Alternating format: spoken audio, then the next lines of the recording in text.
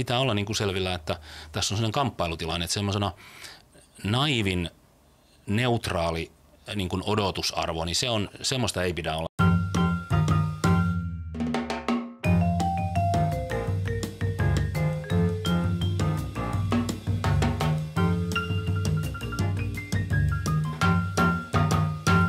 Ja tervetuloa Kujalla podcastiin. Täällä keskustellaan teologiasta ja ajankohtaisista asioista.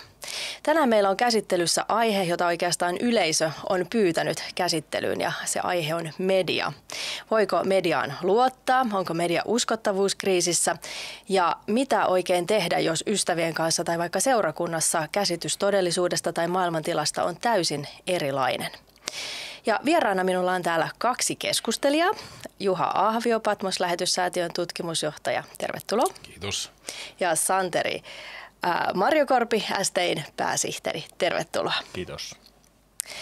Hieno juttu, että pääsitte tänään mukaan ja hypätään nyt sitten heti tänne syvään päätyyn. Eli Aloitetaan vaikka tällaisella arviolla tästä nykytilasta. Eli hyvän journalistisen tavan mukaan journalismia tulisi tehdä siten, että pyritään esittämään mahdollisimman totuudellinen kuva asioista ja maailman tilasta. Niin miten hyvin tämä tavoite teidän mielestä onnistuu tällä hetkellä Suomen mediassa? No jos, jos mä vaikka avaan, avaan tätä vähän, niin tämä on sikäli mielenkiintoista, että me ollaan heti tätä tietooppia on tullut vähän niin kuin harrastettua tässä vuosien varrella, niin, niin kiinnitti huomiota tähän totuudellinen kuva asioista ja miten media siihen niin kuin onnistuu tämmöisen esittämään, niin, niin nythän on pitkään ollut se ajatus siitä, että onko se median tehtävä enää ollenkaan tämmöinen, että, tämä on sitä vanhan tyyppistä ajatustapaa, että media kuvaa asioita ja selittää ja sitten sinä median kuluttajana voit tehdä itse niin kuin ratkaisusi, että mitä mieltä olet ja ja, ja sillä tavalla, että media tuo sulle informaatiota, tosiasioita. No nythän tämmöinen postmoderni ajattelu ihan akateemisessa maailmassa, mikä varsinkin journalistiikkaan on vahvasti vaikuttanut, niin se on pitkän ollut, pitkän ollut sitä mieltä, että ylipäänsä tämmöinen yksikantainen totuushan, sehän on ihan tämmöinen äh, niin patriarkaalis fasistinen valtapoliittinen konstruktio. Et, et siis, et ei semmoista olekaan, vaan sulla on vain perspektiivejä. Ja, ja todellinen totuus on semmoista vapauttavaa, emans, emansipatorista, et ei, eikä ole semmoista niin ajatusta, että maailma on tietyn sorttinen. Ja sitten sä kuvaat sitä jotenkin ja mitä tarkempi kuva, niin sitä parempi, vaan, vaan sun pitää mediassakin journalistina harjoittaa semmoista vapautustyötä ja sitten se kohdistuu tiettyihin teemoihin. Ja siihen sisältyy sitten väkisin jo se, että sähän itse luot todellisuutta – sä teet politiikkaa ja, ja siinä on sellainen moralistinen sävy tältä kantilta katsottuna. Ja jos tämä vallitsee, niin kuin se varsinkin nuoremman polven journalistin keskuudessa on vallitseva ajatus, niin, niin silloin lopputulos on se, että, että jos ei edes pyritä antamaan totuudellista kuvaa siinä perinteisessä mielessä, niin sehän jää antamatta ja siitä tulee jo iso ristiriita mm. koko tähän kuvioon. Tietysti on myös sellaisia journalisteja, jotka vielä menee tämän vanhan mallin mukaan, mutta siitä tämä jännä, jännite mm. tulee. Mm. Kyllä allekirjoitan tuon muutoksen, mikä tuossa tietoopillisessa ajattelussa on, on taustalla ja se näkyy journalismissa. Sen toki näkyy monessa muuallakin. Ja, mutta journalismissa se aika usein, usein se näkökulma on, ei, ole, ei ole tosiaan enää se, että miten että haluttaisiin kertoa vaan mitä on tapahtunut, vaan, vaan enemmän se, että miten näitä asioita pitäisi tulkita ja mitä mieltä näistä asioista pitäisi olla. Että sen, sen tyyppistä uutisointia on niin kuin yhä enemmän ja enemmän. Ja siinä on ehkä just se taustalla, että, että on tullut vähän semmoinen niin kuin välineellinen kuva siitä totuudesta, että, että se on enemmän semmoista, että kun tässä ollaan hyvän puolella, niin sitten voidaan uutisoida sitten asioita, jotka on sen hyvän puolella ja, ja se niin kuin asioiden lopullinen olemus tai totuus, niin se saa siinä sitten vähän unohtua. Että tärkeämpää on se, että, että ollaan niin kuin oikeassa ja viestitään sellaista hyvyyttä. Mm. Niin ja tähän varmaan sitten tavallaan se, että mitenkä, mitenkä me yleisönä sit luetaan sitä mediaa. Että jos meidän oletusarvo on se, että nyt me opitaan niin kuin todellista tavallaan näkökulmaa tosiasioita tästä maailmasta ja me niin kuin odotetaan sitä mediasta, mutta sitten media antaakin, että, että heillä onkin ohjaava tavallaan ideologinen rooli omasta mielestään. No, siinä on vakava, vakava jännite ja ristiriita sisäänrakennettu. Ja sitten vielä tämmöinen, kun siinä on tämä, just tämä moraalistinen sävy, mihin Santerikin viittaa tuossa, niin siitä seuraa silloin se, että hän tulee väkisin semmoinen, sanotaan hienosti, manikealainen ulottuvuus. Eli sitten se, mikä on sitä pahaa ja huonoa ja moraalitonta, niin se ei ole mikään niin kuin legitiimi vaihtoehto, jota saisi pohtia tai edes nostaa esiin, jotta se kumottaisi, vaan se on pahaa, joka pitää tuhota. Joka tässä tapauksessa tarkoittaa sitä, että sä mediassa niin kuin sitten toimit niin, että ei mikään sinun vääräksi katsomasi, niin sitä ei edes saa nostaa esiin, että sinä vaan tule niin kuin tarjonneeksi sille jonkinlaista semmoista ää, niin kuin, niin kuin vakavasti otettavuutta. Ja sitten mennään siihen, että on, on BBC ja muuta, jossa siitä tästä ja tuosta teemasta, niin ei edes studioon oteta edes debatinomaisesti niin kuin sen ja sen näkökulman edustajaa, koska se tiedetään jo vääräksi ja ettei vaan se väärä eetos alas siitä niin kuin vaikuttaa. Niin siinä tulee tämmöinen hyvin vahva, vahva myöskin niin kuin viholliskuva. Juuri, juuri siis – sieltä vinkkelistä, joka toisaalta on paheksuvinaan, että ei saa sellaista vihaa eikä viholliskuvia luoda, niin se luo itse aika vahvan viha- ja viholliskuvan mm. ja, ja siitä tulee tämmöinen. Ja se tätä ongelmatiikkaa sitten luo ja varsinkin toi, että jos, jos joku ei hahmota tätä vaan olettaa tämän olevan se tosikuva, niin sähän joudut täydellisen käännytyksen kohteeksi mm. tässä siinä tilanteessa, jossa sä et edes ymmärrä, että sinua käännytetään. Mm. Toki täytyy sen verran niin kuin sanoa vähän kohtuullistaa tätä kritiikkiä, että tietenkin tämä on monilta osin niin kuin joista, joihinkin u- uutisten alueelle riippuvaa, että, että poliittiset kysymykset, ehkä ulkomaan politiikka, no paljon sisäpolitiikka, niin näissä nämä kysymykset on, mutta toki on sitten paljon semmoista aika neutraaliakin tiedon välitystä, että ei, ei pidä ajatella, että kaikki mitä nyt Hesarissa lukee on niinku huijausta, että, että, mutta, mutta se, pitää, se, se on tietenkin hyvä tunnistaa se tosiasia, että, että eletään sillä lailla ideologisesti kiistellyssä ja moniarvoisessa ja monimuotoisessa ilmapiirissä, jossa on semmoisia vallankäyttäjiä ja kaikilla on tietty näkökulma, mistä ne ponnistaa. Ja, ja semmoinen mediakritiikki on hyväksi, hyväksi ja se on ehdottomasti niin, että kristityn ihmisen kannattaa miettiä, että mitkä tässä on ne taustaoletukset ja semmoiset syvemmät arvot, minkä pohjalta tässä toimitaan ja onko joku näkökulma, mitä tässä ei esimerkiksi, just niin kuin Juha totesi, että kaikkia näkökulmia ei, ei usein edes päästetä tai niille anneta puheenvuoroa, vaikka se olisi, se olisi kohtuullista. Mm-hmm. Joo. Niin ja tässä varmaan tämmöinen niin kuin Päivi Räsänen on tämmöinen hyvä esimerkki siis kristityille, että kristittyinähän me sitten voidaan niin kuin tunnistaa mediasta sellaisia asioita ja tietoja, jotka me tiedetään kristillisen vakaumuksen tai oman kokemuksen pohjalta vääriksi.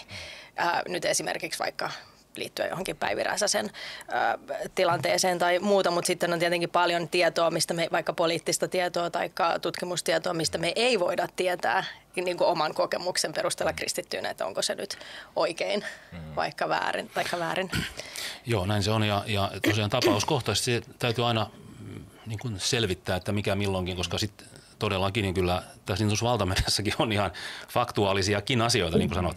Että se on ihan totta, mutta täytyy tapauskohtaisesti katsoa ja, ja, ja jos ajatellaan vaikka jotain tätä ilmastonmuutos keskustelua, niin, niin, niin se on muun muassa sen tyyppinen, että siinä liikutaan pitkälti luonnontieteen saralla, jonka luulisi olevan mittaamista ja laskemista ja observointia eli havainnointia, mutta sitten jännästi siihenkin saadaan sitten semmoinen, että aletaan puhua poliittisin käsitteen, eli sulla on joku suvereeni konsensus, joka ei ole tietenkään tieteellinen käsite, mutta mut se tulee sinne mukaan. Ja siinäkin sitten täytyy, vaikka ollaan mitattavassa ja laskettavassa luonnontieteessä, niin, niin olla, olla niin kuin jyvällä, että no, tähänkin liittyy kaikenlaista ja, ja, ja, ja pitää olla niin kuin selvillä, että tässä on sellainen kamppailutilanne, että semmoisena naivin neutraali niin kuin odotusarvo, niin se on, semmoista ei pidä olla. Että se on ehkä semmoinen perus, perusajatus, mikä kannattaa pitää mielessä, että ei voi enää asennoitua siis naivin neutraalisti, että lähtökohtaisesti on niin, että sieltä tulee semmoista vain kuvailevaa, vaan, vaan täytyy käsittää, että tässä on tämmöinen kamppailu ja on varmaan monia kamppailijoita, ja, ja, mutta pelin henki on niin kuin tämmöinen. Ja mm. se vaatii sitten äh, median lukijalta. Toisaalta on niinkin, että eihän semmoistakaan sääntöä ole missään esitetty, että kaiken pitäisi olla helppoa. Että onhan tämä vaativaa, mutta, mutta siihen täytyy vaan sitten jotenkin orientoitua. Mm. mm. Ja ehkä tässä niin kuin iso oire on se tietty semmoinen yhtenäiskulttuurin murtuminen, mikä näkyy sitten mediankin kentällä, että ei ole enää semmoisia yhteisesti jaettuja totuuksia tai arvoja siinä määrin, mitä Suomessa joskus oli. No, ehkä joku voi sanoa, että nekin oli tietynlaista valtapeliä ja, ja varmaan osittain olikin mutta, mutta nyt eletään semmoisessa, semmoisessa sitten haastavammassa tilanteessa, jossa ei niin kuin enää pystytä kauhean itsestäänselvyytenä ottamaan asioita mm. ja käsityksiä. Ja media on yksi iso vallankäyttäjä tässä, niin kuin se tietenkin aina on ollut. Mm.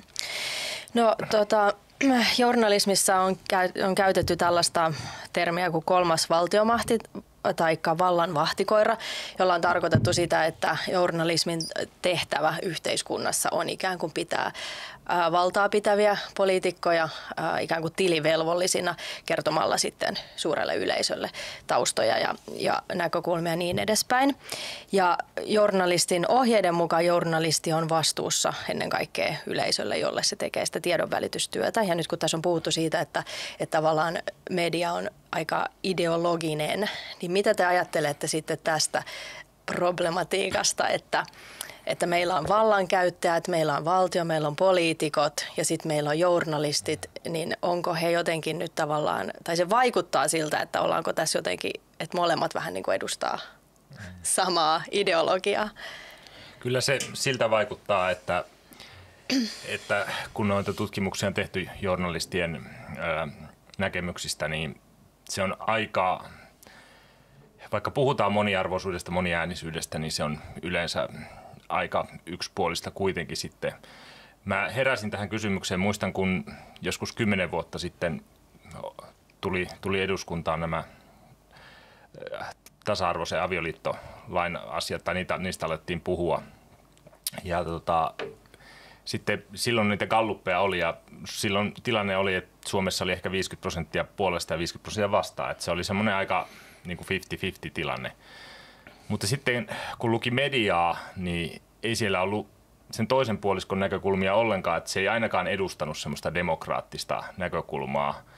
Ja se on se vähän se ongelma, että meillä ei ole semmoista niin kuin koko kansan edustusta mediassa, vaan se edustaa semmoista tiettyä, ehkä semmoista suurkaupunkien eliitin näkökulmia mm. se media ja, ja liikkuu siinä. Ja tietenkin politiikkakin on aika lailla samassa, että se ei, se ei ole semmoinen vastapooli sille – vaan, vaan pikemminkin semmoinen, niistä muodostuu semmoinen kokonaisuus, jolla ajetaan tiettyjä, tiettyjä näkökulmia tänne, tänne maahan. Ja tietenkään tämä ei ole pelkästään Suomen ongelma, vaan tämä on joka paikassa näin, että samat ihmiset, samoista, se, se lähtee tuolta akatemiasta ja nämä valmistuu sitten sekä mediaan että, että päättäviin tehtäviin nämä samat ihmiset ja samoilla ajatuksilla, että, että semmoinen todellinen moniarvoisuus tai edes sellainen, että va, olisi oltaisiin sitä mitä, mieltä, mitä noin suuriksi osaksi ihmiset ajattelee, niin sellainen saattaa puuttua sieltä. Mm. Joo, näitä joitain tutkimuksia, siis Kalluppeen selvityksiäkin on tehty vuosien varrella, jossa ihan journalistien niin kuin henkilökohtaiset poliittiset kannat tulee esiin, niin kyllä siellä on ihan, ihan just tästä kansan eh, niin kuin, normijaosta poikkeavat eh, niin kuin ne tolpat siinä, että kuinka paljon on punavihreää kannatusta. Ja, ja vaikkapa sitten ihan jos laitetaan poliittista kenttää, niin joku PS tai KD esimerkiksi, niin se on hyvin pieniä journalistin keskuudessa. Mutta sitten punavihreällä on hyvin isot tolpat ja sitten myöskin tämmöinen jonkinlainen liberaali kokoomuslaisuus on ehkä edustettuna, mutta mut se menee hyvin vahvasti semmoisen vasemmistoliberalismin pussiin, se vääristää. Yksittäiset journalistit eh, on, on tämmöisiä, ja jos se katsoo, että heillä on tämmöinen Äh, tämmöinen, tämmöinen niin kuin vapautustehtävä, niin se on selvää, että se menee tiettyyn suuntaan. Ja no, tämä on se ideologinen kuvio, mutta, mutta sitten mä ottaisin myöskin sen esille, että kun ajatellaan mediaa maailmanlaajuisestikin, ja, ja vaikka ihan meillä ja Pohjoismaissa ja maailmanlaajuisesti, niin myöskin sit se, että kuka sen median omistaa. Siis rahaa puhuu näissäkin asioissa – ja, ja silloin riippumatta jostakin yksittäisen journalistin henkilökohtaisesta näkemyksestä tai puoluekannasta tai mistään, niin se, että esimerkiksi mistä uutiset tulee, mi, mi, mistä se narratiivi luodaan, se kertomus, mitkä on niitä ää, otsikoita, millä se niin kuin muokataan, niin vaikka maailmalla on aika paljon tämmöisiä erilaisia mediataloja sinänsä siis nimellisesti, niin sitten kun katsotaan lopultakin, että, että kutka ne omistaa, mistä, mistä niitä lopulta hallinnoidaan, niin se on aika keskittynyttä. Varsinkin USAssa esimerkiksi, mutta sitten yhtä lailla myöskin niin kuin muualla maailmassa, että siinäkin on sellaista tietynlaista, voisiko sanoa, niin kuin, niin kuin virheellistä näkökulmaa tai tulee sellainen optinen harha, että on paljon kaikenlaista ja on sellainen kakofoniakin jopa ja joku ajattelee, no väkisin siellä tulee kuitenkin ne kaikki erilaisetkin näkemykset, että onhan tämä sellainen mm. ok, sellainen normaali länsimainen liberaali tilanne, mutta sitten kun katsotaan, niin niin se on useimmiten näennäistä. Mm. Et se on aika lailla samat teemat ja meillähän esimerkiksi uutiset ostavat ne äh, otsikot ja sisällöt sitten muilta firmoilta toistaa niitä. Että semmoinen perinteinen journalismi, jossa yksi journalisti itse tutkii jonkun asian henkkoht, niin tämähän on vähentynyt aika paljon, että ostetaan köntässä ne infot ja, ja lobataan sitä ja sitten uutislähetykset esimerkiksi on hyvin samanlaisia, kaikkialla samat termit, samat iskulauseet.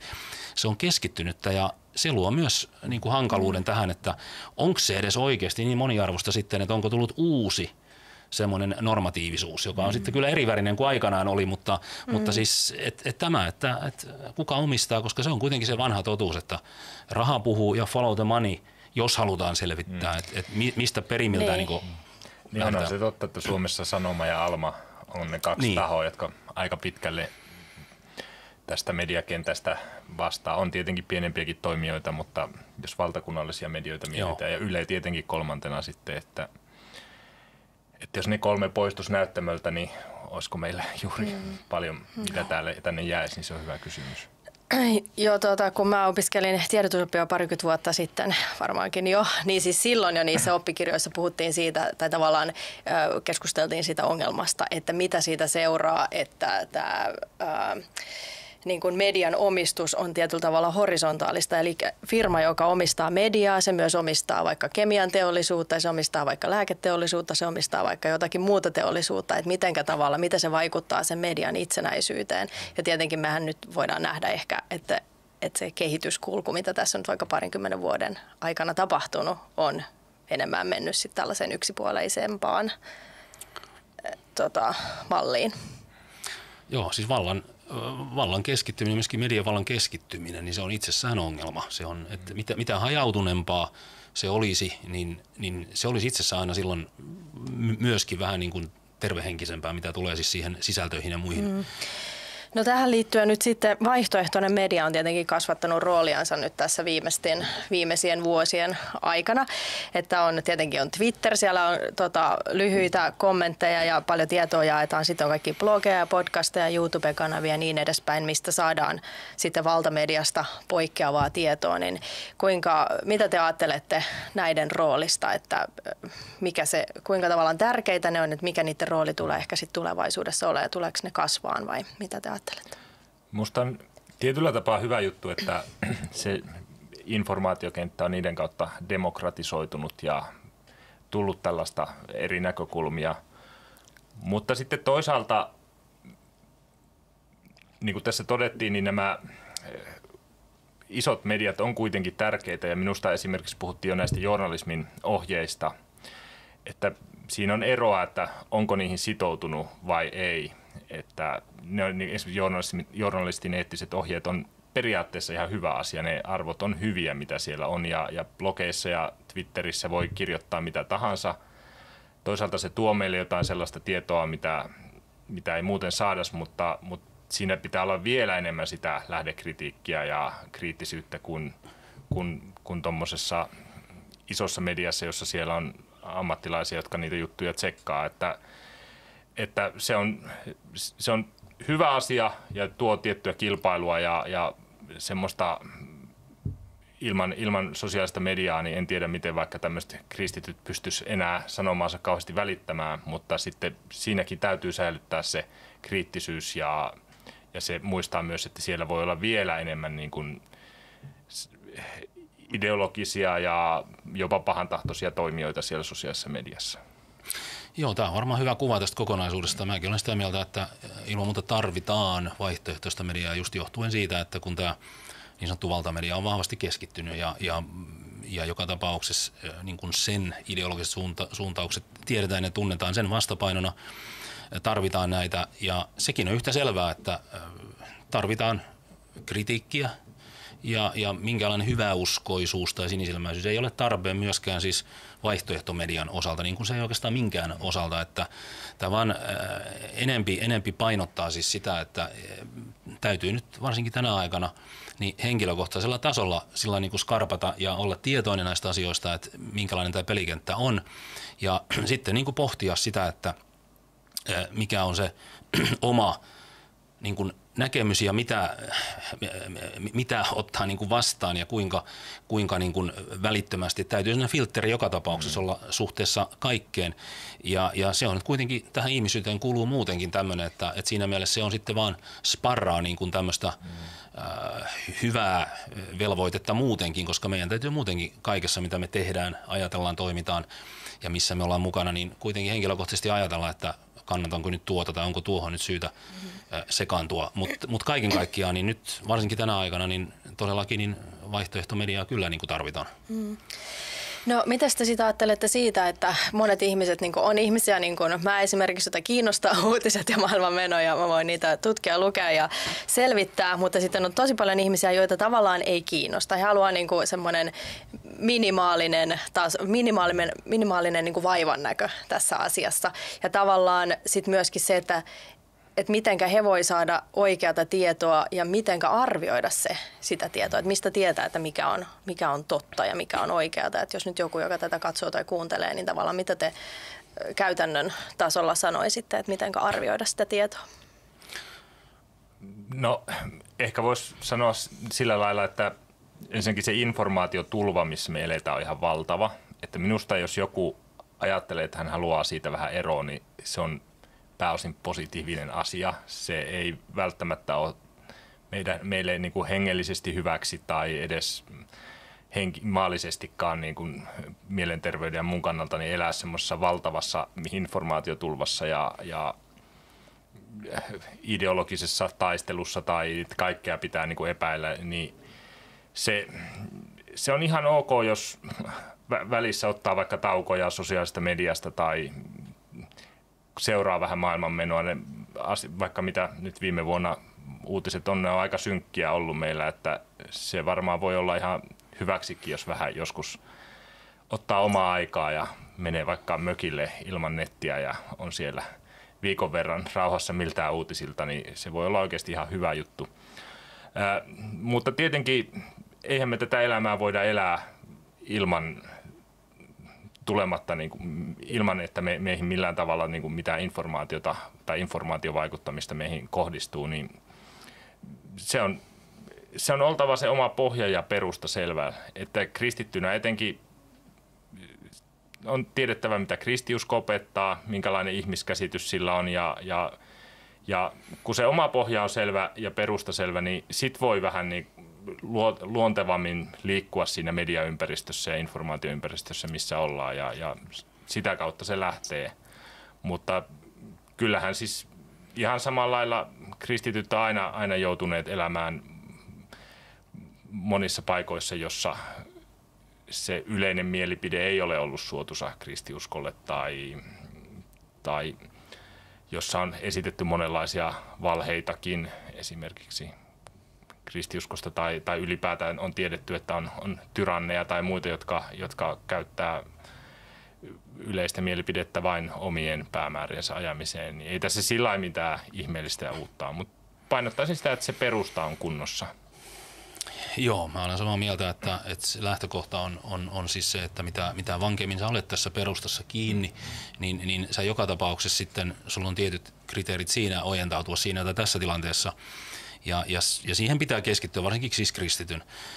No sitten tietysti niin semmoinen yleinen, niin sanottu yleistieto, se on sinänsä hyvästä, mutta se, että pitääkö jokaiseen yksityiskohtaan jokaisen ihmisen erikseen paneutua, niin vastaus tietysti on, että ei, ei tarvitse eikä pidä. Ja joku taukokin on aina välillä ihan hyväksi, koska tosiaan kaikenlaista tulee ja ylipäänsä siis tämmöinen, että plärätään ja katsotaan ja ihmetellään siis tämmöistä digitaalista, niin, niin siitä on ihan senkin takia hyvä pitää joskus vähän taukoa, koska, koska et se ei ota semmoista niin kuin yliotetta ylipäänsä.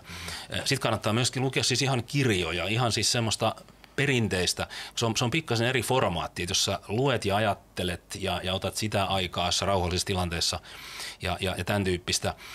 Sellainen klassinen sivistysihannekin on sitten kuitenkin semmoinen, mitä kannattaa kultivoida. Se antaa myös lähtökohtia sitten arvioida ihan luontaisestikin kaikkea tästä juoksevaa, arkista, nopeaakin, jos sulla on tätä. Se, mitä mä itse henkilökohtaisesti painotan semmoisena, mikä voisi antaa niin kuin valoa ja muuta, niin, niin historian tuntemus yleisesti ottaen. Se on, mä, mä niin kuin tykkään painottaa sitä ja olen sitä mieltä, että se on kuitenkin ihan terveellistä oikeastaan kaikillekin. Siis jos tunnetaan yleisesti ottaen, mitä enemmän siis historiaa ja sitä luetaan ja opiskellaan vähän niin kuin muista lähteistä kuin näistä nopeasti juoksevista jostain lyhkäisistä artikkeleista tai jostain Twittereistä tai jostain. Että sulla on tietynlainen semmoinen tästä just tämän hetken tilanteesta riippumaton semmoinen isompi kuva jollain tavalla kohdillaan. Ja sitten sanotaanko hienosti metafyysisesti ja muuten sitten vielä sä oot kohdillaan tässä kristillisessä uskossa ja, ja tämmöisissä asioissa, niin sitten sulla on tietynlainen tausta, johonka asetella näitä hyvin nopeasti vaihtuvia, ihmeellisiä, erilaisia tämän päivän juttuja, myöskin tämmöisiä uutisia, mitä tulee. Ja siitä sä saat jo jonkinlaisen tämmöisen pinnan, vähän niin kuin semmoisen keskinäisvaikuttavuuteen, jolla sä voit jo arvioida asioita. Mutta jollei sulla ole tätä, niin kuin sanon, niin kuin klassisesta sivistysihanteesta nousevaa pohjaa tai historiallista ymmärrystä, niin silloin tietysti voi tulla se fiilis, että no mä oon nyt ihan hukassa, että mistä sä nyt otat kiinni, jos sun pitäisi pari one-lineria saada jostain ja siitä tehdä joku iso maailmankatsomuksellinen tai tulkinnallinen kanta siihen tai tähän maailman tapahtumaan, niin se onkin, se onkin huteraa. Ja, ja jos se on ainoa, niin sitten kannattaa välttää semmoisia vankkoja sitoumuksia, koska ne menee usein pieleen, mutta, mutta siis äh, lähtee niin kuin tämän tyyppiseen ja ja niin kuin perinteisestihän, kun meillä on joku tämmöinen koulu- ja kasvatussivistys ollut silloin aikoinaan, semmoinen, joka on vähän painottanut enemmän näitä ja nyt tämmöistä klassisempaa aj- ajatusta. Ja, ja nyt sitten ollaan menty enemmän enemmän semmoiseen valinnaisempaan ja, ja tämän tyyppisen semmoisen niin kuin hajautetumpaan tietoon sit nykyään niin kuin yleisestikin koulutuksessa tämmöisessä, niin se on vähän niin kuin haitallista. Et, mm. et, et jos mä nyt tiivistän tämän, niin kannattaa lukea myös kirjoja. Mm.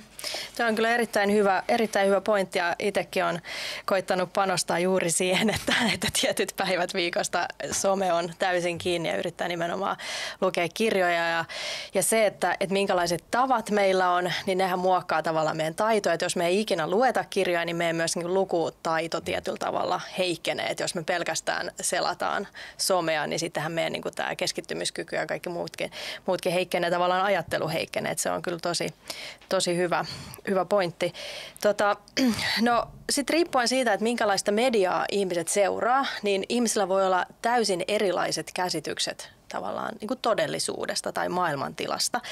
Ja sitten yleensä, että, se, että molemmat puolet sitten tavallaan niin kuin demonisoi sitten toinen toisiansa. Että esimerkiksi nyt vaikka Trumpi, että ne, ketkä kannattaa Trumpia ja ne, ketkä vastustaa Trumpia, niin molemmilla on täysin erilainen tavallaan käsitys asioista. Molemmat solvaa toistensa käsityksiä, taikka koronaan liittyen, taikka vaikka sukupuoli, sukupuolitranslakiin, että saako, saako ihminen identifioitua mihinkä sukupuoleen haluaa, että onko se niin kuin välttämätön ihmisoikeus vai onko se murskaava isku naisten oikeuksille vai mistä on kyse. Niin mitä te ajattelette tästä, että, mitenkä, että kuinka todellista tämä on, tämä tällainen erilaiset käsitykset maailmasta ja mitenkä toimia sitten tällaisessa tilanteessa? Niin, siis maailmankatsomuksia on erilaisia ja, ja ne on vastakkaisiakin. Ja tietysti kristityn näkökulmasta niin, niin, niin tämä tilanne on jo vaikkapa länsimaissa aika pitkään vallinnut siis, että se, niin kuin Santeri viittasitkin tuossa, että, että on, on jo sen tietynlainen yhtenäiskulttuuri muuttunut silloin aikoinaan, siis tänne länsimainen ajatustapa oli vahvasti linkissä kristillisen maailmankatsomuksen ja uskon lähtökohtiin. No siinä oli semmoista tietynlaista yhteistä maaperää aika pitkälti. Olit se sitten henkilökohtaisesti uskossa tai et, että siinä oli yhteistä maaperää. No se on hajonnut se yhteinen maaperä ää, monella tapaa, mutta tässä on tietysti selvästi semmoinen todellisuus, että ihmiset tarkastelevat tätä maailmaa ihan saatellaan filosofian tasolla, teologian tasolla aivan erilaisesti ja siihen täytyy niin kuin tottua, sitä täytyy hyväksyä, mutta siitä sitten seuraa monenlaisia asioita. Siitä ei kuitenkaan automaattisesti seuraa, että ihmissuhteessa tai tämmöisessä niin kuin kanssakäymisessä pitäisi jotenkin mennä rähjääväksi tai jotenkin semmoiseksi, että otetaan pulttia niin sanotusti tai jotain tämmöistä tai solvataan. Sitä se ei edellytä erilaisuuksista ja vastakkaisista näkemyksistäkin pitäisi voida puhua ja näin, että se ei automaattisesti edellytä. No sitten on erilaisia toimijoita, jotka haluavat kärjistää tätä sitten sinne ja tänne suuntaan. Ja sitten tulee tämmöinen eh, ideologinen suuntaus sitten, joka, joka tietysti kokonaisuudessaan haluaa vähän niin kuin vallankumoustakin ajaa, mikä nyt länsimaissa tarkoittaa sitä, että se perinteinen länsimaisuus tuomitaan hyvin pahaksi, niin sehän tarkoittaa sitten semmoista kauttalinjasta rintamahyökkäystä kaikkea perinteistä vastaan. Ja siinä on taas se verenmaku suussa, eli manikealaisesti tuhotaan se paha rasistinen, perinteinen, valkoinen, kolonialistinen, kaikki tämä tämmöinen näin. Niin siinä, siinä on jo tämä, että siinä, siinä ei haluta ottaakaan enää vankeja, vaan siinä, siinä on niin tuhoamistaistelu. No miten sä reagoit sitten tähän? Sun täytyy toisaalta ymmärtää, että sun tulee myöskin pitää omasta maailmankatsomuksesta kiinni. Sulle ei myöskään oikeutta antautua tai täysin päähän potkittavaksi siis tämmöisessä maailmankatsomuksellisessa merkityksessä. Eli siinä on väkisin tämä kamppailutilanne, mutta se, että miten se tehdään, niin, niin, niin siinä on paljon niin kuin tietysti vaihtoehtoja, mutta tästä täytyy olla, olla tietoinen ja haastaa. Siinä, siinä tietysti semmoinen mm, perustellut äh, mielipiteet, argumentit, niin niillä on kumminkin sijansa, vaikka tämä pinta – on semmoista, että ollaan jo katsovina, että mikään tämmöinen niin kuin esimerkiksi järkiperäinen argumentaatio ei enää toimi, että tämä on kaikki valtapolitiikkaa ja muuta. Loppuviimeiseksi kuitenkin, niin, ja meidän kristitynä tulee muistaa, että mehän elämme kuitenkin Jumalan luomassa maailmassa, ja vaikka on naapuri, joka ideologisesti katsoo metafyysisesti jotenkin ihan eri tavalla – niin hänkin on kuitenkin samassa Jumalan luomassa maailmassa samanlaisena ihmisolena kuin mekin. Eli viime kädessä kuitenkin myöskin sitten, että jos sä esität perustellusti, haastavasti ja järkiperäisen asiallisesti esimerkiksi oman kantasi puolesta argumentteja, niin kyllä ne silti vaikuttavat. Siihenkin tulee pyrkiä, että tarjotaan ihan asiallista uskonpuolustusta, ihan tämmöistä yhteiskunnasta keskustelua, perustellaan asiallisesti, vaikka jossain mediassa saattaa tulla äkkiä joku tyrmäys ja joku tyhmä one-liner, jolla, jolla se torpataan, niin silti on aina niitä, jotka oikeasti saavat siitä kiinni. Eli meillä on velvollisuus kuitenkin myös asiallisesti analysoida, tuoda esiin. Se on myöskin sitä totuuden esillä pitämistä ja ottamista osaa niin kuin rakentavasti tähän kamppailutilanteeseen.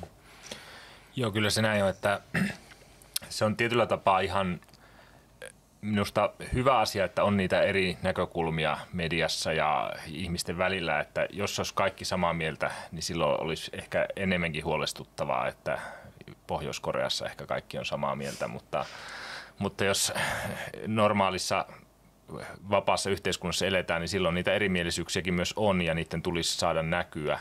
Että se kysymys on sitten vaan siinä, että miten me eletään niiden kanssa, että – kristittynä. Tietenkin meillä on Jeesuksen ohje siitä, että rakasta vihamiehiäsi, että miten, miten se näkyy meidän kohtelussa niitä ihmisiä kohtaan, jotka on meidän eri mieltä, niin se on hyvä kysymys. Mm. No tässä sitten ongelmana on ehkä, ehkä vielä se, että jos tarkennetaan niin kuin kristilliseen seurakuntaan, mm. eli tavallaan kristittyjen välillä voi olla. Nyt vaikka nyt otetaan esimerkiksi tämä kiistanalainen korona, eli tämä on nyt sellainen asia, joka varmaan tässä viime vuosina on tuonut ihan kirjaimellista hajannusta, että ihmisten vaikka ystävyyssuhteet ja jopa perhesuhteet on, on mennyt rikki, tietenkin riippumatta siitä, ollaanko kristittyjä vai ei, tätä on tapahtunut, mutta nyt jos puhutaan vaikka ihan, ihan kristityistä, niin mitä, että jos on täysin jotenkin vastakkainen käsitys näistä asioista, niin, niin mitenkä sitten, mitä te ajattelette, että tämmöisessä tilanteessa sitten niin kuin pitäisi tehdä? Että... Niin, jos mä jatkan tota ajatusta vielä tuosta, että on normaalia, että on eri mielisiä, eri, ollaan tietystä asioista voi olla erilaisia käsityksiä ja kristityilläkin niin tämmöistä niin kuin luomisen teologian piiriin tai tämmöisen yleisen tietämyksen piiriin liittyvistä asioista voi olla eri näkemyksiä. Että se ei ole mikään pelastuskysymys, että otatko sä koronarokotteen vai ei. ei. Ja, tai, tai minkälaista politiikkaa sä kannatat Amerikassa tai näin poispäin. Ja kyllä siinä pitäisi olla semmoista, myös semmoista sietokykyä. Joku sanoi niin, että hyvä ystävyys kestää erimielisyydenkin. Että jos ihminen ei kestä sitä, että saat vaikka poliittisesti eri mieltä tai – on jostain muista eri, erilaisia näkemyksiä, niin ei, se ei todennäköisesti silloin ole, ole hyvää ystävyyttä, että se on jonkunlaista välineellistä tai muuta se, se ystävyys. Ja kyllä, kyllä se kristilliseen seurakuntaankin kuuluu, että meidän tulee niin kuin kantaa ja sietää niitä tietynlaisia erimielisyyksiä ja myös hei, toisten heikkouksia ja ei kaikki, kaikilla ole mahdollisuuksia vaikka perehtyä asio- tiettyihin asioihin. Ne voi olla aika pinnallisiakin, mistä, mistä jotkut kristityt jotkut näkökulmansa saa tämmöistä yleistä asioista ja toiset on asiantuntijoita ja siinä luontaisestikin on, on niin kuin helposti tämmöistä sitten erimielisyyttä ja muuta, mutta sen ei saisi hajottaa sitä kristittyjen yhteyttä kuitenkaan. Joo, näin, näin se tietysti on ja, ja kristittynä just tämän, tämän maallisen regimentin luomisen teologian alalla, niin niin olisi hyvä lähteä siitä, että pohditaan mitä kymmenen käskyä, jotka summaavat luonnon, luonnollisen lain ja, ja, ja tämä moraalilain, että, jotka on meille tietysti niin kuin normatiivisia ja ylipäänsä ihmisyydelle, siis luonnonoikeus. Mitään, mitä niistä niin kuin seuraa, se on sitä kautta niin kuin kristitty voi alkaa lähestyä näitä kysymyksiä, yhteiskunnallisia kysymyksiä ja, ja pohditaan ja keskustellaan ja, ja silti varmaan tulee erilaisia kantoja, mutta joo, se on ihan normaalia ja ja tietysti tämä just ihan puhtaasti, vaikka mainitsin jonkun koronarokotusteeman, niin niin se on hyvin teknistä, sun, sun täytyy lukea, sun täytyy niin kuin seurata. Ja on siinä just nyt sitten on paljon erilaista infoa ja tämmöistä. Ja kaikki on suhteessa siihen, että kuinka hyvin on paneuduttu, kuinka, kuinka paljon ymmärretään siitä asiasta, koska, koska se on myöskin semmoinen, että olet se jostain kemiasta tai lääketieteestä ja muusta ymmärrä, niin siinä on hankala mennä säätämään. No sitten se on pitkälti menee siihen, että ketkä on niitä, jotka oikeasti ymmärtävät ja mitä he taas edustaa. Toisin sanoen se paneutumisen taso on se, että siinä on myöskin sitten eh, niille, jotka, joita se sitten vahvemmin kiinnostaa, niin pitäisi paneutua. Ja jos mä tiedän, että mä en ole hirveästi paneutunut, niin ehkä sellainen eettinen ajatus on se, että mä en, mä en hirveästi sit siinä niin nyrkkiä heiluttele mihinkään suuntaan oikeastaan, jos mä en tiedä. Eh, Tämmöiset yleiset säälliset eh, periaatteet siinä varmaan, varmaan niin on, on silloin – niin kuin, niin kuin tarpeen. Mutta sitten, sitten tietysti näissä tilanteissa, mikä tässä koronateemassakin on tietysti vähän kärjistänyt sitä, niin kun on ollut nyt sitä meininkiä, että käytännössä sitten jo joku esivalta alkaa pakottaa. Ja silloin tullaan sitten tietysti semmoiselle sektorille, mikä, mihin sitten taas jo kristillinen etiikka vastaa sitten jo paitsi, paitsi niin kuin kristittynä, niin myöskin sitten ihan, ihan kun me olemme myöskin kansalaisia ja sitten tullaan siihen apostolien tekojen kohtaan, jossa Paavali Rooman kansalaisena on, on tilanteessa, jossa hän joutuisi niin ruoskittavaksi, niin hän vetoaa puhtaasti ihan kansalaisoikeuksiinsa. Että, että tämäkin ulottuvuus sitten on tässä, että sitten täytyy ottaa nämä lukuun, että myöskin me ollaan kansalaisia, ei voi kohdella miten tahansa, mennään näihin syviin kysymyksiin näissä, niin, niin se on tietysti tekee polemisemmaksi, mutta, mutta jälleen sitten päädytään siitä siihen, että että paras lääke niin kuin näihin olisi se, että, että ollaan selvillä, mitä historiallinen kristillisyys näistä isoista linjoista opettaa, sillä ne on, ne on minusta niitä suuntaviittoja myöskin näihin meidän kysymyksiin. Ja silloin tullaan tähän e-, etiikkaan ja näihin kysymyksiin. Kyllä siellä, siellä on semmoista viitteistöä, mikä, mikä meitä auttaa, mutta sitten myöskin sanotaanko näitä opetusvirka – tänä päivänä niin kuin, niin kuin Kristuksen seurakunnassa, kirkossa tai jossain pienemmissä seurakunnissa, missä tahansa, niin, niin se on aikamoisessa vastuussa, koska se on ensisijaisesti sitten se, jonka pitäisi laumaa myöskin valista myöskin niitä, joilla ei henkkohta ole mahdollisuutta erikseen ryhtyä sen ja sen alan asiantuntijaksi tuosta vaan yhtäkkiä, niin, niin, niin, niin pitäisi, pitäisi vastuullisesti sitten pystyä suuntaamaan sitä keskustelua, tuomaan sellaista aineistoa, mikä oikeasti rakentaa niin ni, niillä on tietysti iso vastuu, koska heiltä vähän enemmän vaaditaankin sitten näissä. Mm. Eli on tärkeää oikeastaan etsiä tietoa, ymmärtää tietoa ja sitten on tärkeää olla armollinen toinen toistaan kohtaan. Ja sitten on ehkä tärkeää myöskin kehittää tällaista debatin tai keskustelukulttuuria tietyllä tavalla, että voidaan olla eri mieltä, mutta sitten niin kuin, että ehkä tänä aikana kaikki asiat menee helposti tunteisiin ja sitten kun joku tilanne tai joku koronatilanne vaikka on päällä, niin sittenhän se tosi helposti helposti menee mm. tunteisiin ja sitten on vaikea rauhallisena no. järkevästi argumentoida asioista. Toi on mielestäni tärkeää, mitä sanot, että, että semmoinen debattikulttuuri, siis mulla on se käsitys ja kokemus, että meille suomalaisille on perinteisesti ihan kaikissa muissakin asioissa aika vaikeaa semmoinen – asiallinen kurinalainen debatti. Että meillä se on heti jotain riitelyä tai kinastelua tai jotain kauhistuttavaa, että joku konsensus murtuu. Se on jonkun anglosaksisen maailman vahvuus ollut maailman sivu, että siellä tämmöinen väittelykulttuuri on luontaisempaa. Ja se ei tarkoita silloin sitä, että ollaan henkilökohtaisesti jossain riidoissa tai vihassa, vaan sulla on erilaiset näkemykset ja, ja väitellään, jotta kävisi ilmi, että kuinka vahvat perusteet sulla on. Ja mulla tämä on jo keskiaikaisesta yliopistolaitoksesta liikkeelle lähtenyt ja anglosaksisessa maailmassa on tätä viljelty siis ihan koulutuksen puitteissa ja se on hyvä juttu. Jos sieltä jotain pitäisi meille lainata, niin jotain tämmöistä, koska se auttaisi myös näissä oikeasti polemisissa kuvioissa, että voidaan ymmärtää, että hei tässä on oikeasti mielenkiintoinen haastavakin kysymyksen asettelu. Siinä on monta pointtia. Käydään vähän nyt läpi oikeasti, että kenen ikään kuin näkemys kestää paremmin kuin jonkun toisen, mikä on perusteltu, onko tuossa joku sisäinen ristiriita. Niitä voitaisiin tällainen myöskin pohtia ilman, että ollaan jossain semmoisessa henkilökohtaisessa hmm. jossain niin kuin riitelyssä, niin, niin se olisi kyllä rakentavaa, jos vähän tämmöisenkin päästäisiin. Ehkä voisi jatkaa siitä, että se tietyllä tapaa myös tuo semmoisen haasteen meille kristityille, että pitäisi ei, ei, ei, pitäisi myös osata olla itse sillä uhriutumatta tai, tai niin kuin loukkaantumatta turhaa, että nähdä se, että mitä erimielisiä on ja, ja, ja, tot, ja kristiuskoa on maailman sivuvastustettu, että ei se nyt ole mikään semmoinen asia, mistä pitää henkilökohtaisesti välttämättä loukkaantua, vaan, vaan just tämmöisen debatointikulttuurin hengessä, hengessä kohdata se asia ja, ja, ja silleen nöyrästi ja kylmäpäisesti. Jeesuskaan ei tainnut vastaväitteilleen koskaan suuttua ja alkaa vaatia hiljentämään niitä, vaan hän aika Mm. Tarvittaessa terävästi kyllä vastasi, terävästi mutta, vastasi. mutta, haasteen vastaan. Minä kyllä, juuri, hän vasta, vastata, tulee, väitellä. vastata tulee ja totuudesta tulee pitää kiinni, mutta siis se, että, että semmoinen loukkaantumiskulttuuri helposti imasee myös meidät, koska kaikki, kaikki pelaa täällä sillä, että, että kun loukkaannutaan, niin siitä tulee kohua ja näin. Ja, ja tämä ei ole oikeastaan hyvä juttu, että se ei ole, se, se ei, paljon järkevämpää olisi tämmöinen hyveellinen debatointi kuin se, että lähdetään niin kuin, tunteita kiihottamaan mm. asioissa. Ja sitten varmaan hyvässä debatissa on myös se hyvä puoli, että sehän usein niinku kirkastaa oikeastaan mm. molemman osapuolen tavalla ajatuksia tai argumentteja, koska sitten kun niitä, niistä keskustellaan, ne voi kirkastua sitten sille ne debatoijille, mutta myöskin, myöskin sit yleisölle. Et siinä mielessä se on ehkä rakentavan tiedon ja keskustelun kannalta hyvä asia.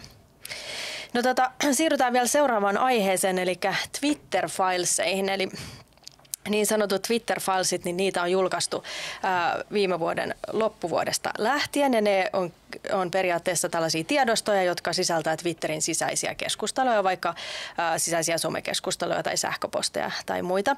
Ja Elon Musk, kun hän osti Twitterin, niin sitten hän on vapauttanut näitä tiedostoja vapaille toimittajille raportoitaviksi. Ja näistä on nyt sitten julkaistu useita artikkeleita loppuvuodesta lähtien. Ja niissä on paljastunut, paljastunut paljon huolestuttavia asioita muun muassa siitä, miten FBI on kommunikoinut suoralla yhteydellä Twitterin saadakseen tiettyä tietoa vaiennetuksi ja niin edespäin. Ja myöskin sellainen asia siellä paljastuu, että faktantarkistus esimerkiksi tieteellisistäkin tutkimuksista niin ei ollut tutkijoiden tekemää faktantarkistusta, vaan tekoälyn tekemää, taikka joku filippiiniläinen paja jossakin, joka automaattisesti siellä sitten ihmiset ikään kuin koittaa klikkailla, klikkailla tota, sitten rukseja ja sillä tavalla tarkistaa faktoja. Niin tota, ootteko te itse lukenut Twitter-fileseja? Minkälaisia ajatuksia ne on herättänyt? Olen lukenut ja suhteellisen aktiivinen on, on Twitterissä ja sikäli on myös koskettanut itseä. Niistä ehkä se pääpointti tai se asia, mitä niistä nyt on opittavaa, niin on se, mitä tässä on toistettu jo median kohdalla monen kertaan, että myöskään sosiaalisen media-alustat eivät koskaan ole neutraaleja. Eli ne on liiketoimintaa, sinä olet se tuote, jota myydään siellä. Ne on myös monesti erilaista vaikuttamista, poliittista tai jonkunlaista muuta, muuta vaikuttamista voi olla. Ja voi olla, että niiden alustojen omistajilla on tiettyjä sitoumuksia tai tiettyjä, tai he on poliittisesti esimerkiksi tietyillä kannoilla. Ja kun sosiaalisessa mediassa on, niin on hyvä muistaa se, että ne algoritmit, mitkä meille sieltä tarjoilee sitten erilaista tavaraa, niin niihin se ei, se ei ole vaan semmoista neutraalia, että nyt, nyt tuo sattu tuolta tulemaan, vaan, vaan niitä aika paljon yritetään viilata, jotta, jotta ne palvelee myös niiden omistajien intressejä. Ja, ja sitä kautta se tilanne oikeastaan voi muutettavat muuttaa sen keskustelun, mitä tästä mediasta on puhuttu, niin siirtää myös siihen sosiaaliseen mediaan. Joo, mäkin olen niitä äh, lukenut ja pyrkinyt tosiaan seuraamaan ja ehkä se välitön ajatus, mikä siitä äh, tulee, on se, että nyt meillä on tässä tietyllä tavalla tämmöinen ihan kokemusperäinen, faktuaalinen, ei tosiasia – pohjainen niin kuin, niin kuin mahdollisuus verrata nyt sitten esimerkiksi niitä väittämiä ja, ja sitä toimintaa, mitä, mitä esimerkiksi Twitterissä, somessa oli aikaisemmin tiettyjen tapausten suhteen, ja siellä oli tätä faktantarkistusta ja, ja mm. kiellettiin ja bannattiin tiettyjä teemoja ja, ja ohjattiin keskustelua tiettyyn suuntaan. Silloin jotkut sanoivat, että tässä on nyt tämmöistä vilunkipeliä. Ja sitten valtavirtaista todettiin, että tämä on juuri semmoista kaninkolojuttua nyt. Ei saa puhua salaliitoista. Ja nyt, nyt, nyt mentiin, että, että siellä, siellä on asiallista, vastuullista Twitterissä ja muualla tämmöistä asioiden esiintuontia, jos siellä pannaan joku, että tämä on kyseenalaista, niin se on oikeasti perusteltua. Moni oli tätä mieltä, nyt kun nämä paljastukset on tulleet ihan sieltä sisältä, niin kuin Elon Musk on niitä nyt sitten paljastellut ja, ja, ja tällä tavalla, niin on osoittautunut, että tämä silloin sitten kritiikki oli monelta osin täysin perusteltua. Ja se puhe, että se olisi semmoista kaninkolosalaliittoilua ollut, niin se oli itse disinfoa, jossa pyrittiin siis todellinen totuus joka tapauksessa kuitenkin niin kuin, ää, tukahduttamaan. Ja ja se antaa nyt meille pienen ikkunan siihen, että tämmöistä on valitettavasti, että viittaamalla johonkin salaliittotermiin tai tämmöiseen, niin sillä halutaan ohjata ja hiljentää, ja ei kaikki, mitä herjataan salaliittoteoria, salaliittoteoria, niin ei olekaan salaliittoteoria, vaan se on, se on jotakin niin kuin asiallista kritiikkiä. Sen nämä Twitter-filesit ovat osoittaneet. Ja sitten todella tämän, että varsinkin Yhdysvalloissa ja tietysti sitä myöden Twitter toimii siis globaalisti, globaalisti niin, niin suurvallan tiedustelukoneisto, hallitustahot käytännössä, sitten tämmöinen globaali privaatti suuryritys, niin kuin Twitter nyt käytännössä, niin ne on, ne on niin kuin samassa kelkassa kaikki ja tiedusteluelimet, siis valtiovalta ohjaa Twitteriä ja käytännössä poliittisesti ohjaa sitä myöskin sitten propagandassaan tiettyyn suuntaan ilman, että sitä ilmoitetaan ihmisille, että te olette nyt vahvan poliittisen vaikutuksen kohteena, niin tähän on hyvin haastavaa ja paikotellen se todellisuus on vielä karumpaa, kun kovat kriitikotkaan uskalsivat ajatella etukäteen, että se on sen sen tämä on tuonut esiin tämä näiden, näiden äh, Twitter, äh, näiden filesien paljastus. Sitten se on merkille pantava myöskin, että miten valtamedia on siihen reagoinut, niin, niin jälleen kerran ei tätäkään nyt haluta sitten avata. Ei ole myöskään sit siellä semmoista halua, että pyydämme anteeksi. Nykyään pitää pyytää anteeksi kaikenlaista, mitä on tullut sanottua tai ilmehdittyä tai jotain mitä tahansa, mutta ei valtamedia pyydäkään nyt anteeksi niitä ää, niin kuin linjauksia, jolla se heti sitten jo puolestaan demonisoi taas näitä kriitikkoja, koska nyt on osoittautunut, että, että, että tämmöinen demonisointi ei ollutkaan niin kuin paikallaan. Ja, ja, se, ja, ja sitten sit tämä, että nyt sitten tätä, joka tuo viestiä, että näin nyt sitten Twitter toimi, siis Elon Musk, niin häntä puolestaan nyt sitten taas valtamediassa arvostellaan. Eli, eli on suunnattu kritiikki, että hän sotkee nyt ja nyt on kamalaa, kun hän vapauttaa Twitteriä, niin se, se on se kamaluus, eikä se, että nyt on tullut tosiasiallisesti osoitetuksi, että siellä on aika paljon ollut vehkeilyä. Eli tavallaan nyt sitten tämä taas ottaa uudet kierrokset tämä sama prosessi ja taas mennään eteenpäin ja taas täytyy kriittisesti seurata, että mitä mm. paljastetaan ja, ja, ja, ja mitä todistetaan ja mitä siihen taas reagoidaan ja niin edelleen. Ja näissä oli kiinnostavaa, että siellähän oli sisäistä keskustelua siitä, että no voidaanko me nyt antaa FBIlle tämmöinen valta, että, että onko se nyt oikein sitten vaikkapa Trumpia poistaa tältä, voidaanko me tehdä, onko, onko tämä oikea, oikealla perusteella tehty asia. Että sekään ei tavallaan ollut siellä heti täysin yksiselitteistä alusta lähtien niin kuin Twitterin sisällä, että nyt me voidaan tosiaan antaa tällainen valta, valta ulkopuoliselle toimijalle tai valtiolle käytännössä. Joo, ja sehän on hy- hyvä huomata, että tämä oli pelkästään yksi, eli Twitter, että me ei tiedetä, mitä tapahtuu Facebookin tai Instagramin tai jonkun muun, muun taustalla, että siellä voi olla vielä karumpaakin meininkiä. Ja, ja jostain luin, että, että pelkästään Facebookilla niin silloin, mä en nyt sitä tarkkaa lukua muista, mutta suuruusluokka oli, että se on kymmeniä tuhansia ihmisiä töissä, jotka, joiden ainoa tehtävä on moderoida sitä sisältöä. Että se alkaa vähän vaikuttaa semmoista Stasi-koneistolta, joka, joka siellä niin kuin toimii ja, ja ihmisten mielipiteitä sitten eh, suitsii suuntaan jos toiseen. Että aika hurjaa touhuahan se on, on tuommoinen. Joo, toi sanottu Stasi, niin se on hyvä muistaa, että tämän tyyppistä – ei ainoastaan tapahdu Venäjällä tai Kiinassa, vaan myöskin Yhdysvalloissa eli lännessä. Tämä on monelle uutinen, siis uutinen sikäli, että ei, ei niin kuin hahmoteta, siis kaikki trollit ja vehkeilijät tulevat vain Venäjältä tai sieltä tai tuolta, mutta eivät sitten lännestä, mutta nyt on käynyt ilmi, että kyllä sama meininki on lännessä. Se on myöskin mikä on huolestuttavaa, mikä on tullut esiin näiden Twitter-filesien kautta on se, että siis näissä Twitterissä, mutta sitten muualta tiedetään, että yhtä lailla Facebookissa ja näissä muissakin, niin siellä on siis ihan työntekijöinä niin aika iso joukko, siis entisiä siis tiedustelupalveluiden työntekijöitä. Ja vielä sellaisia, joiden työtehtäviin on kuulunut tämmöinen, milloin psykologisen sodankäynnin pyörittäminen, milloin tämmöinen ää, mielenhallinta ja tämmöinen, he ovat sitten, okei, okay, he ovat niin kuin vaihtaneet työpaikkaa ja eihän siinä mitään mystistä, että sä vaihdat työpaikkaa, mutta ää, jää niin kuin pohtimaan sitä, että jos sulla on iso joukko tämmöisiä mielenvaikuttamisen ammattilaisia, sitten siirtyy tämmöisen Twitterin, ja he ovat nyt näitä just sitten, jotka kontrolloivat, moderoivat sitä, niin, niin tästä ei ole hirveän hankala laskea, 1 plus 1 on 2. Mm. Plus tietenkin se, että, että jos ajattelee piilaaksoa tai siis koko tätä tämmöistä teknologiateollisuutta, niin siellähän on töissä muutenkin psykologian ammattilaisia, joita, että tavallaan, että miten saadaan mahdollisimman koukuttaviksi nämä tota, somealustat ja niin edespäin, että siinähän on hyvin paljon tuossa vaikuttavuutta. No mitä te sitten tässä nyt vielä lopuksi ajattelette siitä, että tässä on tosi helppo olla tosi superkyyninen ja pessimistinen ja ahdistunut kaikesta tästä, että täällä on kaiken, kaikenlaista vaikuttamista, mitä maailmassa tapahtuu ja meitä manipuloidaan ja mistä edes nyt sitten tietää, että mikä on, mikä on oikea tieto, että, että tota, mitenkä, mitenkä te suhtaudutte asiaan, että miten, mitenkä olla ehkä toiveikkaampi, tai onko syytä olla toiveikkaampi? Kyllä mä viittaisin vielä siihen, mihin tuossa Juha jo jollakin tavalla puhui siitä totuudesta ja siitä, että joku voi siihen tarttua. Et meidän maailmassa siis tosiaan vallasta on tullut se semmoinen keskeinen kategoria, jonka kautta kaikkea ymmärretään, niin kuin tämäkin keskustelu tässä osoittaa, niin puhutaan tästä median vallankäytöstä ja kuinka siellä on erilaisia toimijoita, jotka vetää poliittisesti eri suuntia ja niin poispäin.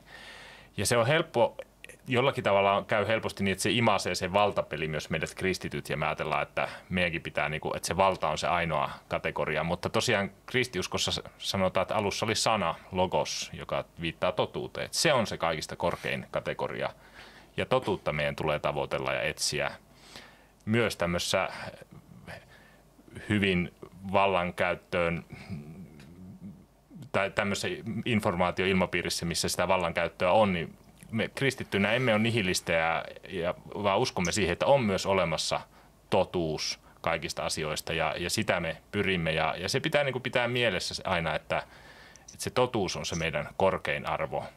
Ja se totuus ei usein löydy sillä lailla pakottamalla, vaan se jollakin lailla itsestään vetää puoleensa. Että se on persoonallinen voima, itse Kristus. Joo, täsmälleen näin. Ja mä olen käyttänytkin tämmöistä termiä, että totuus nousee pintaan kuin korkki joka tapauksessa jossain vaiheessa. Se perustuu just tuohon, mitä Santeri sanoi, että kun totuus on tämän luonteinen, ja tämä on kuitenkin jumalainen maailma.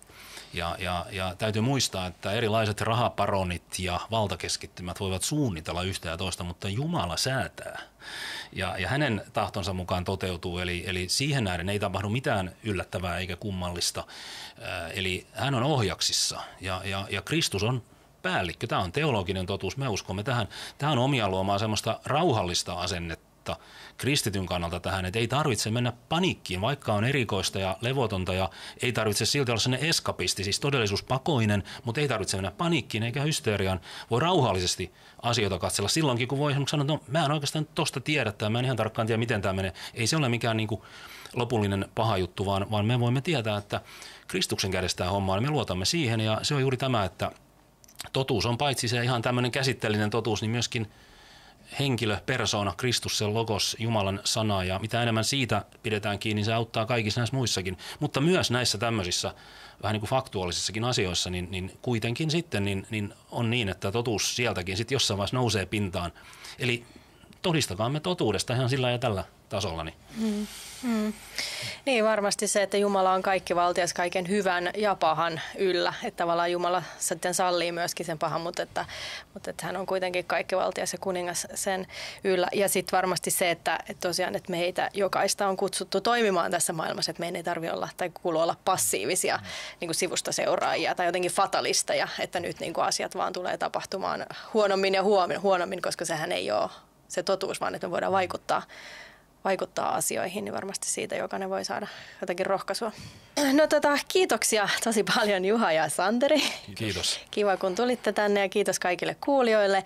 Palautetta tästä jaksosta voi lähettää osoitteeseen kujala.podcast.gmail.com. Kiitos ja palataan ensi kerralla asiaan. Moi moi!